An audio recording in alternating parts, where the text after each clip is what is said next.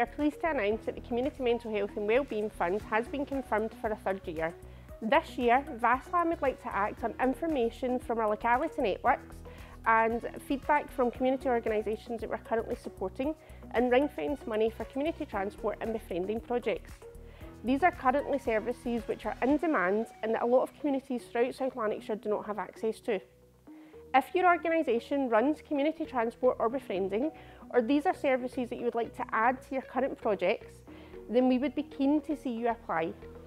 If your organisation does not run community transport or befriending projects, please do not be put off applying, as we would still like to see applications come in for a variety of projects. Our engagement team are here to support organisations to submit applications. If you would like support to become application ready, then please contact us on the details below.